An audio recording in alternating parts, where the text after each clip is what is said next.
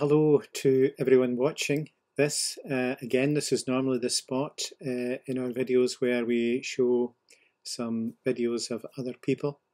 But I wanted to share something uh, very special with you today, uh, and that is uh, to say a huge thanks to those who are looking after the church buildings for us. They're doing a great job.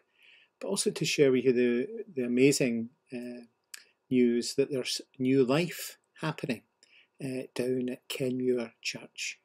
And uh, I'll let you see this new life for yourself.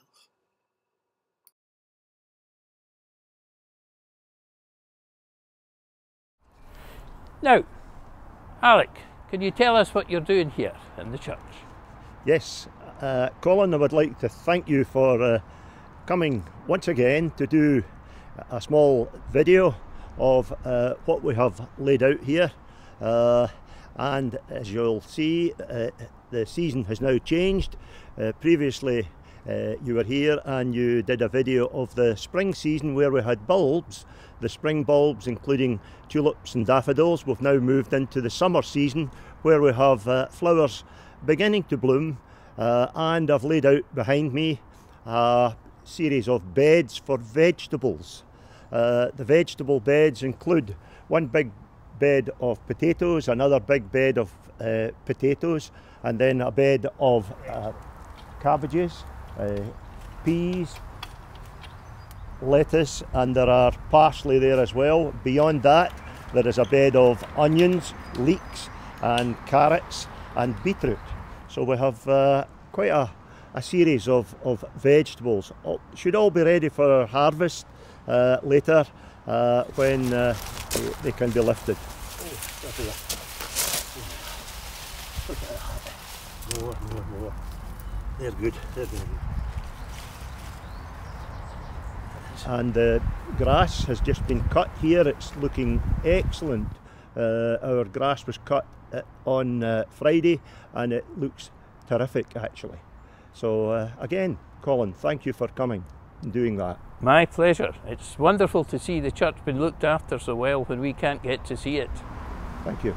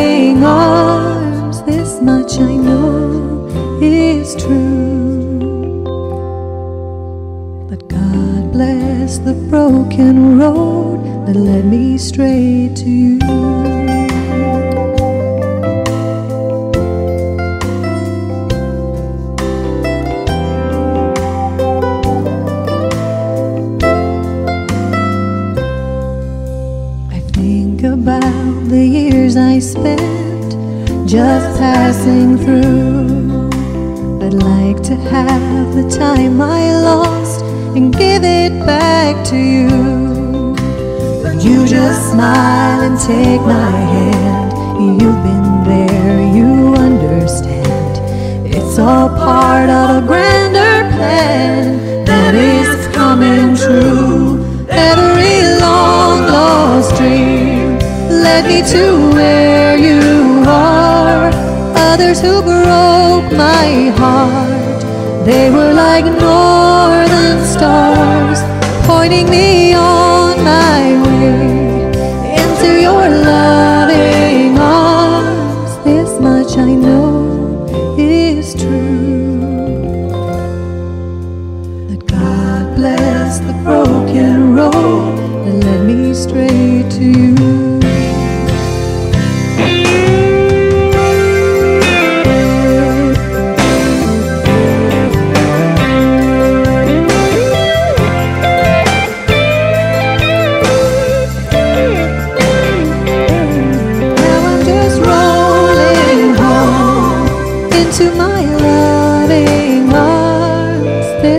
I know is true. God bless the broken road that led me straight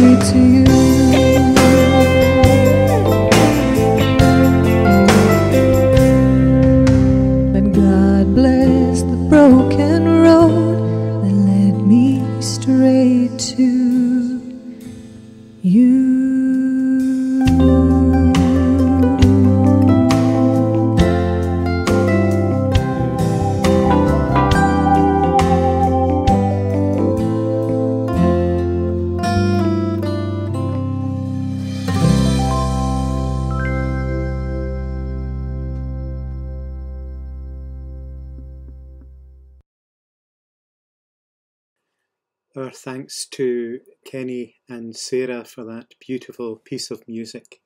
Uh, they're so talented and they were so grateful to them.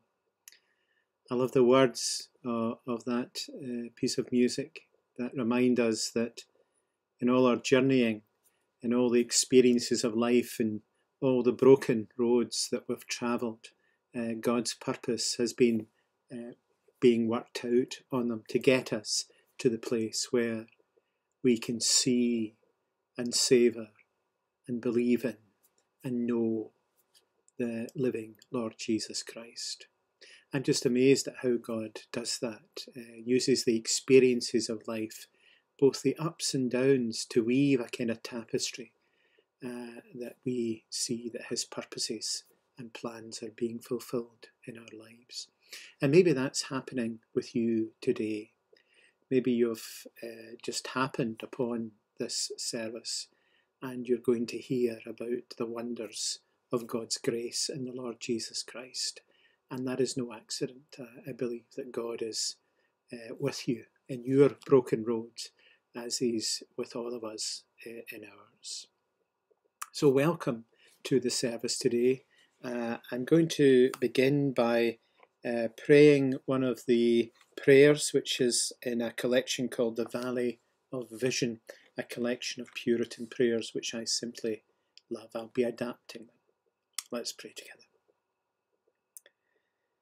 Heavenly Father, you have led us singing to the cross, where we fling down all our burdens and see them vanish, where our mountain of guilt is levelled to a plain will our, where our sins disappear, though they are the greatest that exist, and more in number than the grains of fine sand. For there is power in the blood of Calvary to destroy sins more than can be counted, even by one from the choir of heaven. You have given us a hillside spring that washes clear and white and we go as sinners to its waters, bathing without hindrance in its crystal streams. At the cross there is free forgiveness for poor and meek ones, and ample blessings that last for ever. The blood of the Lamb is like a great river of infinite grace, with never any diminishing of its fullness as thirsty ones without number drink of it. O Lord, for ever will you free forgiveness live that was gained on the Mount of Blood. In the midst of a world of pain, it is a subject for praise in every place, a song on earth, an anthem in heaven, its love and virtue, virtue knowing no end. I have a longing, we have a longing for the world above, where multitudes sing the great song. For our soul was never created to love the dust of the earth. Though here our spiritual state is frail and poor, we shall go on singing Calvary's anthem. May we always know that a clean heart full of goodness is more beautiful than, than the lily, that only a clean heart can sing by night and by day, that such a heart is ours when we abide at Calvary. And hear us, Father, as we pray that prayer you taught us to pray, through the disciples as they prayed. Our Father, which art in heaven, hallowed be thy name. Thy kingdom come, thy will be done in earth as it is in heaven. Give us this day our daily bread, and forgive us our debts as we forgive our debtors. And lead us not into temptation, but deliver us from evil.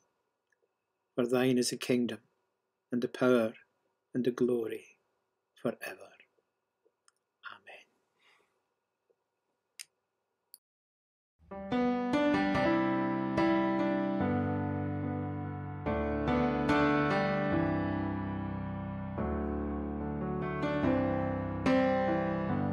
Bless the Lord, oh my soul, oh, oh my soul. Worship His holy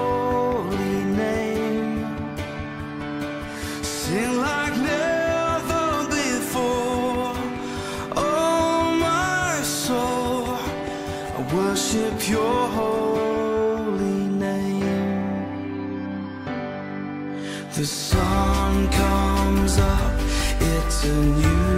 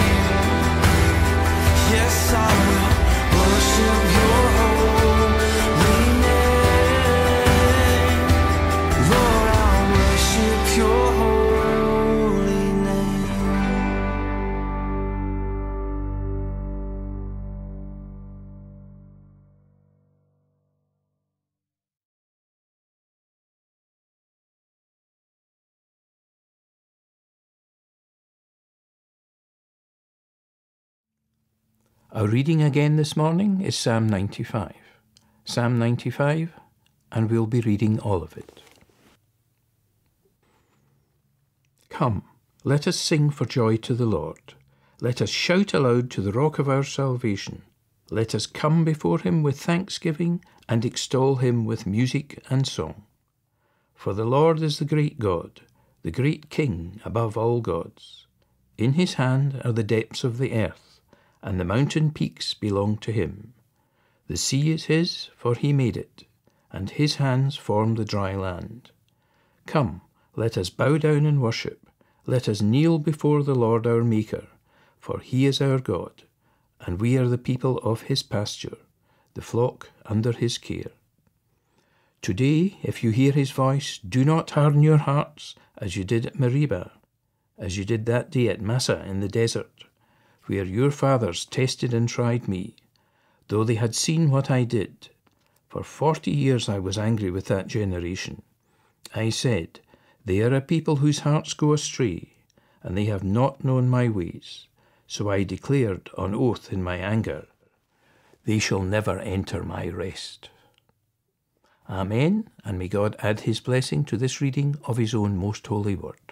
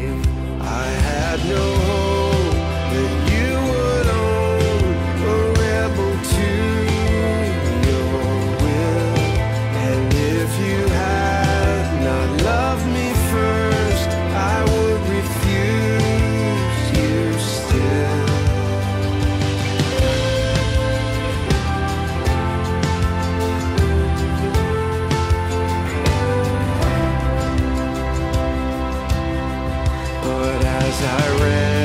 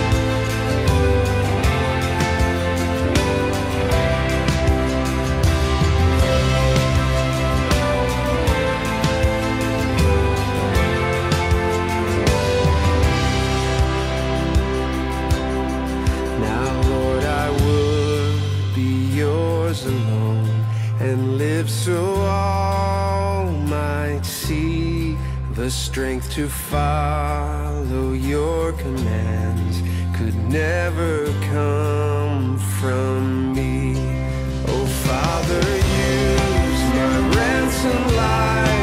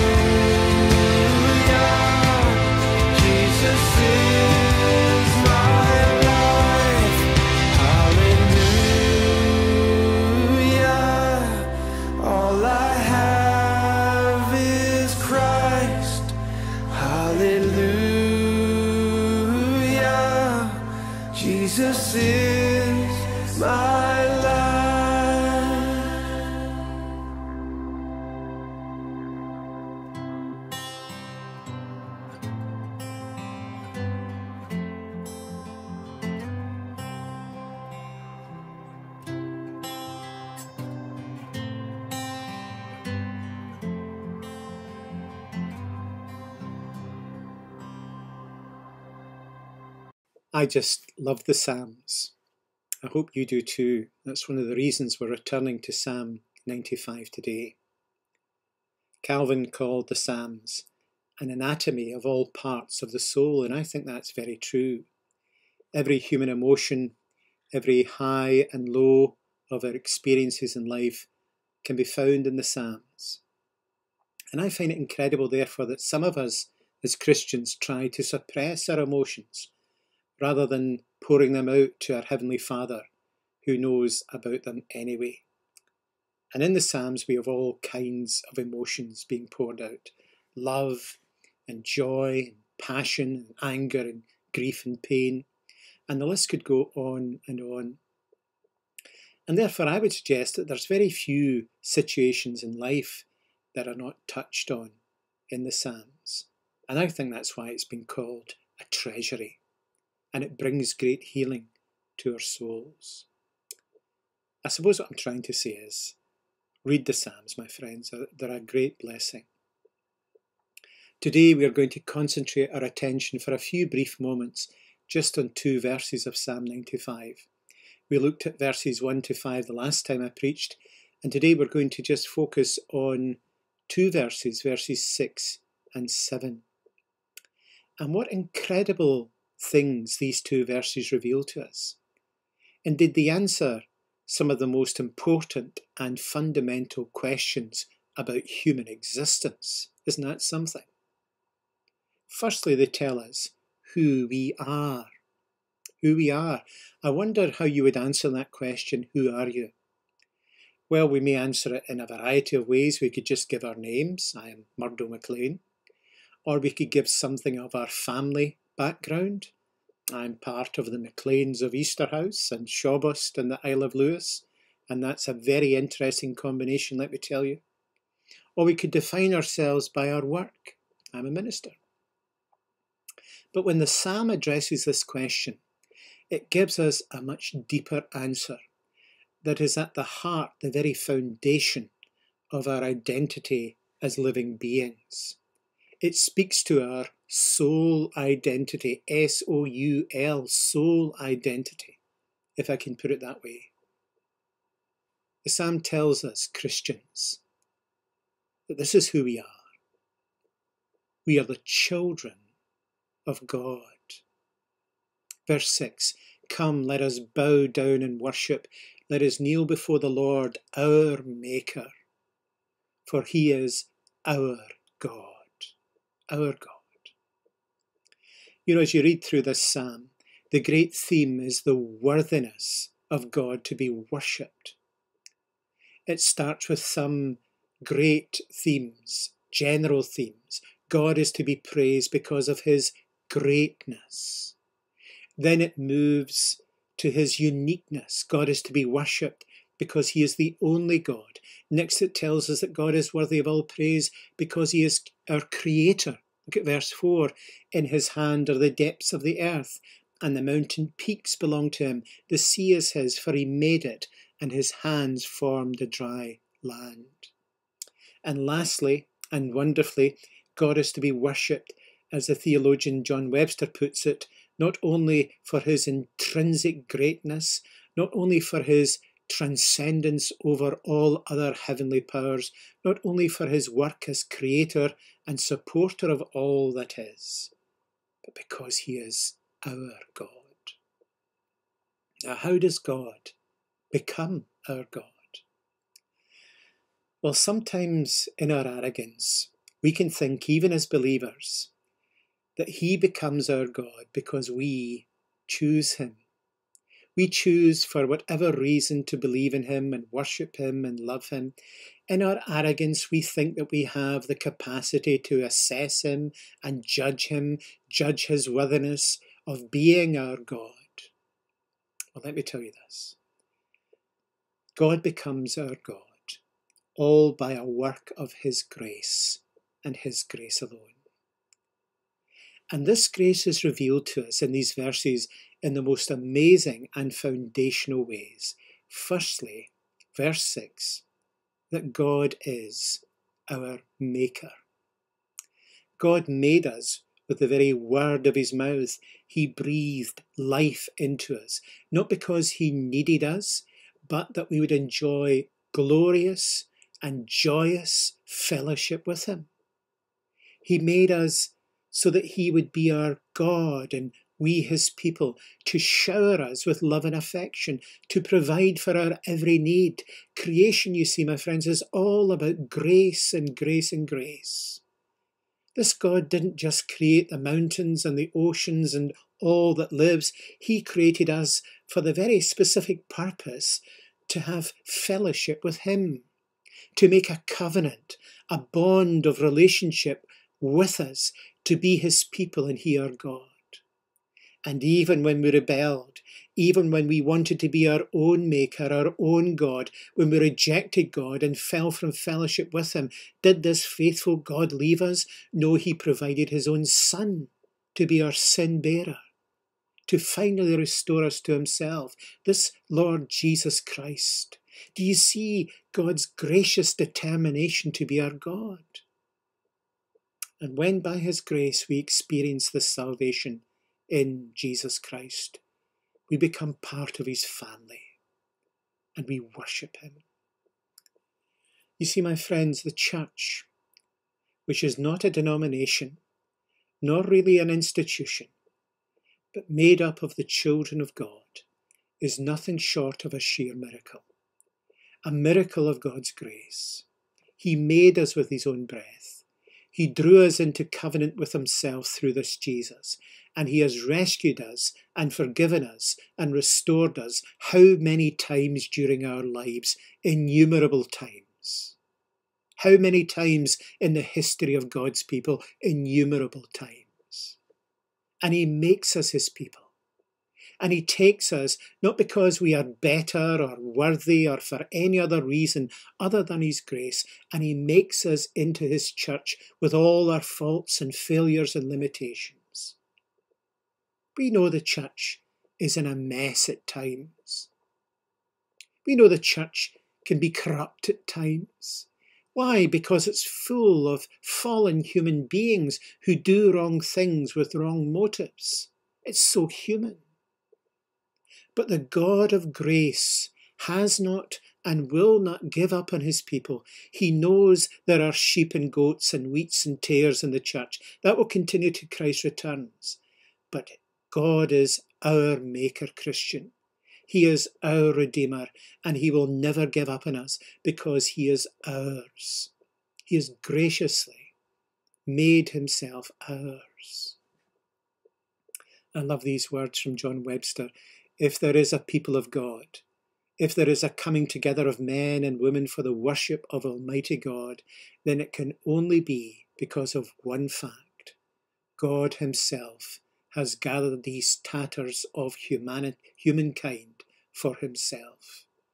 The life of the people of God, our life, is therefore rooted in this God. God chooses, God summons, God congregates this congregation and makes them into the people of his pasture and the sheep of his hand. You know, we can so easily forget this when we see the church as just an institution that we think functions because of what we do in it. God is at work in this supernatural thing called the church.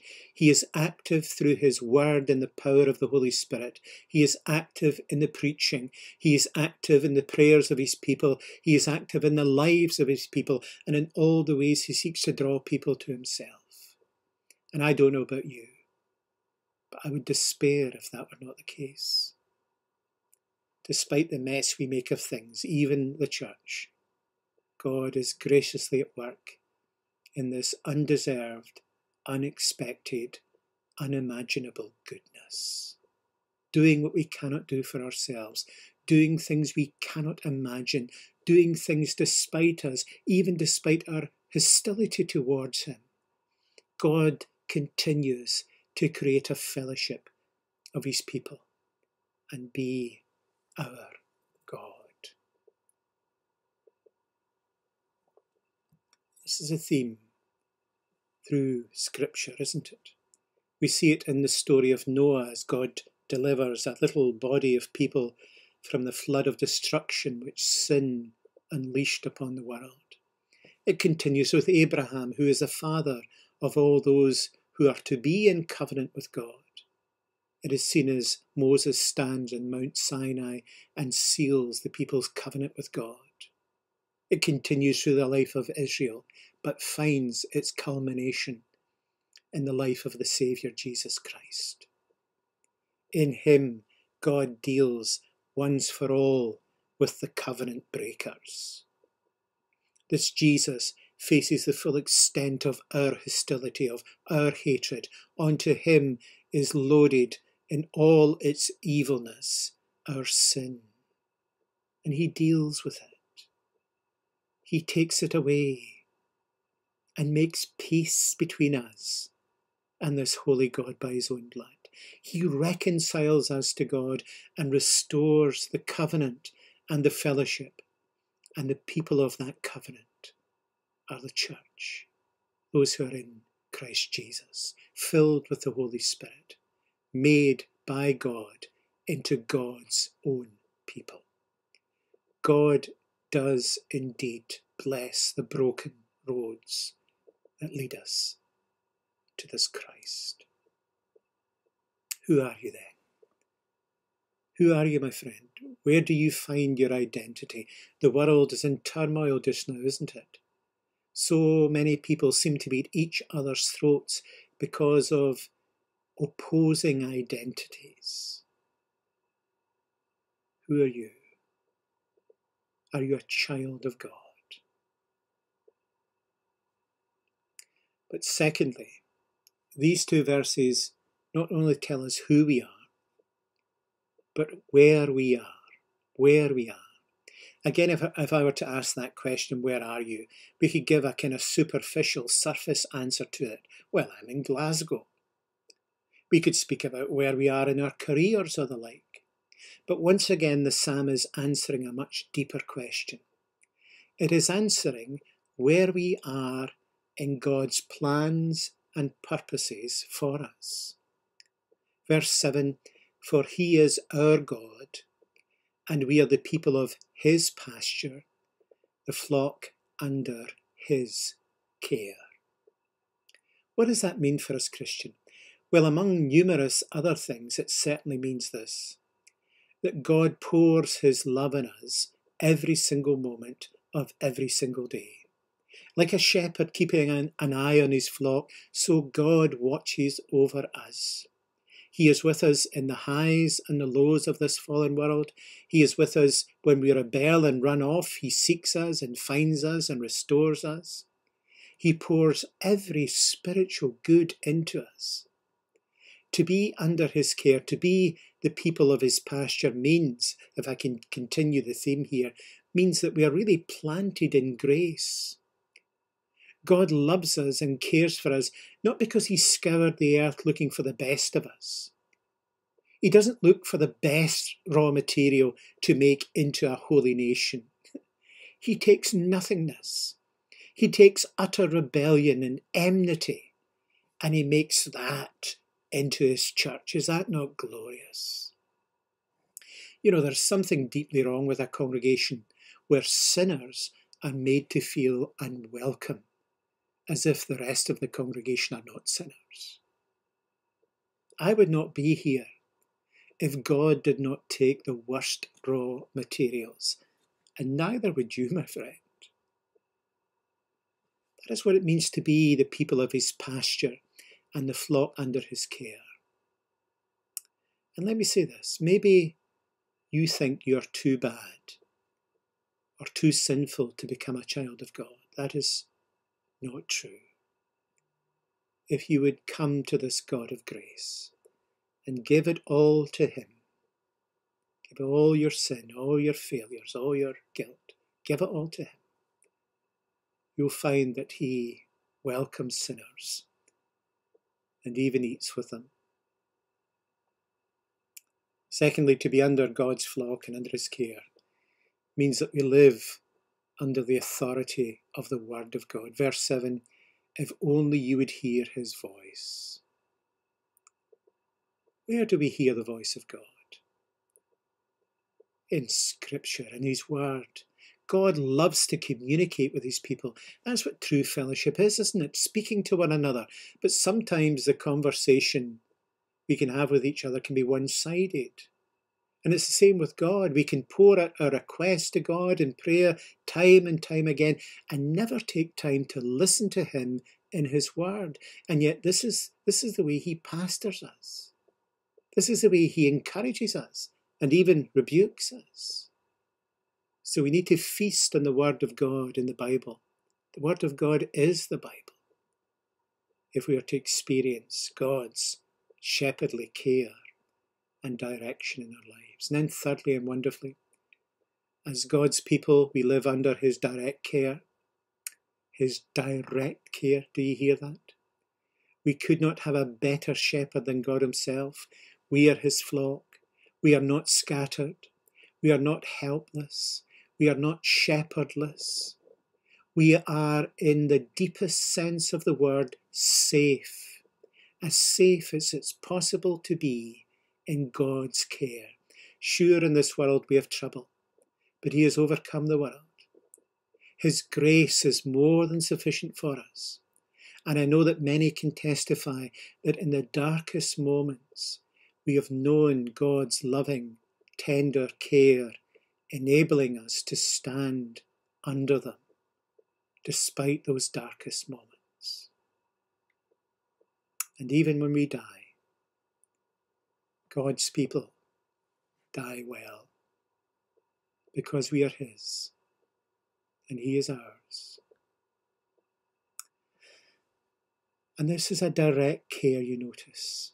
There's no mention of under shepherds, ministers, pastors elders.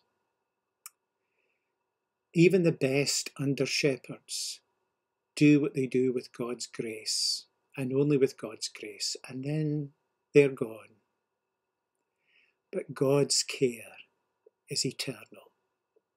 He has us, my friends, and no one shall pluck us out of his hand. And then all this culminates in this that to be the people of his pasture and the flock under his care means that we worship, worship, worship him and him alone. This is the answer to the third question these two verses pose. Who are we? Where are we? And here's the third question What are we for? What is our purpose? And the answer is worship. Verse 6 Oh, come, let us worship and bow down. Let us kneel before the Lord our Maker. You notice the repetition here worship, bow down, kneel. And it's a way of emphasizing to us the primary place of worship in the life of God's people. The worship of God is not an unimportant thing, it is essential. It is indeed the principal work of those who are called into fellowship with Him. In worship, we bring thanksgiving for all His graciousness. We bring praise for who He is and all His majesty. In worship, we also hear Him in His word. In worship, we sometimes think that the main thing that is happening is that we are giving something to God. We are giving praise and worship and adoration. But all the time we are seeking to do that, He is graciously flooding our lives with himself through his word preached in the power of the Holy Spirit in answer to our prayers. And that's when we realize that true worship is nothing short of a real and living and miraculous encounter with God Himself. In worship, we ask for what we need our daily bread, and we receive a feast because that's what He's like.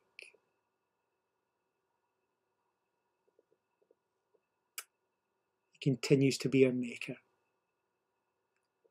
Every single day, He is making us new. He is making us more and more like His beloved Son. He is moulding us for His service, for His glory. He is pruning away the dead wood of our lives, all by His grace. Who are we? We're not just any people, we are God's people. Where are we? We're not just anywhere. We are in God's pasture, where He cares for us. What is our purpose? We are to, the, to, to do the greatest task ever worship, worship, worship. Let's pray. Father, we thank you that you are our shepherd. You have made us your people. Help us to be your people, all by your grace because we ask this in the precious name of Jesus Christ our Lord. Amen. And now may the blessing of Almighty God, Father, Son, and Holy Spirit be with you all now and forevermore.